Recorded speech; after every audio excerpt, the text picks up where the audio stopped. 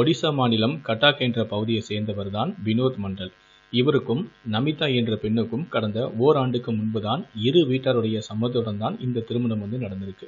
திருமணமாகி ஓராண்டு ஆகியும் இவங்களுக்கு இந்த தம்பதிகளுக்கு வந்து குழந்தைகள் இல்லை.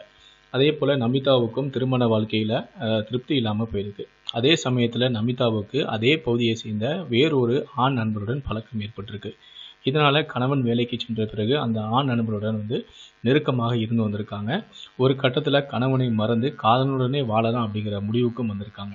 இதுக்கு கணவன் வந்து இடையூறாக இருப்பாரே அப்படின்னு சொல்லிட்டு கள்ளக்காதலுடன் சேர்ந்து கணவனை வந்து கொலை செய்யலாம் அப்படின்னு சொல்லி திட்டமும் போட்டிருக்காங்க. அந்த திட்டம் வந்து கடந்த மார்ச் மாதம் அதாவது சரி கடந்த மாதம் இருபத்தைந்தாம் தேதி வந்து கள்ளக்காதலுடன் சேர்ந்து கணவனை கொலை செய்து அவருடைய உடல் கிடைக்கக்கூடாது அப்படின்னு சொல்லிட்டு அவருடைய உடலை வந்து துண்டு துண்டாக சின்ன சின்ன பா பாகங்களாக வந்து பல பாகங்களாக வெட்டி மகாநதி ஆற்றுப்பாலத்துக்கு கீழே வந்து போட்டிருக்காங்க.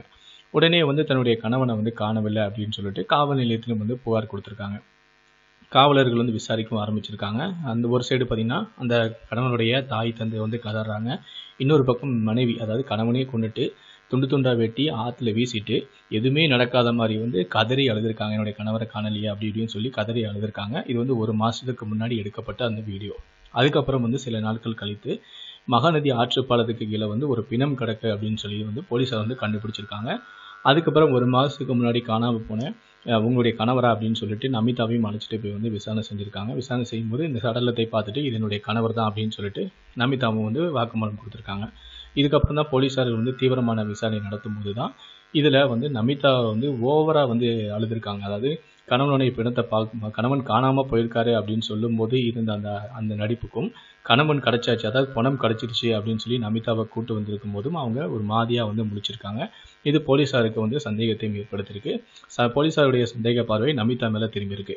அதனால் நமிதாக்கே தெரியாமல் மறைமுகமாக வந்து நமிதாவுடைய நடவடிக்கையை வந்து போலீஸார் கண்காணிச்சிட்டும் அவங்களுடைய மொபைல் ஃபோன் இவங்க வீட்டுக்கு யாரெல்லாம் வந்திருக்காங்க யாருக்கிட்ட இவங்க அதிகமாக பேசியிருக்காங்க அப்படிங்கிற மாதிரியான கிடுக்குப்பிடி விசாரணையில் போலீஸார் வந்து இறங்கியிருக்காங்க.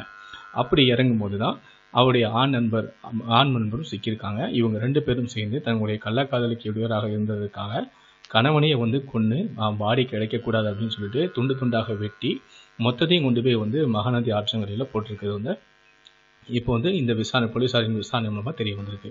இப்போ மீடியாக்கள் என்ன பண்ணுறாங்கன்னா இந்த பெண் வந்து கணவன் இறந்துட்டாரே என்னுடைய கணவன் யாரோ கொண்டுட்டாங்க கணவன் காணாமல் போயிட்டாங்க அப்படிங்கும்போது அந்த பெண் பேசிய அந்த வீடியோ கிளிப்பும் இப்போ அந்த கணவன் இறந்து போன பாடியை பார்த்துட்டு அந்த பெண் அழுத்ததையும் எல்லாத்தையுமே வந்து போட்டு காட்டி இப்படி தான் இப்போ இருக்க பெண்கள் இருக்கிறாங்க.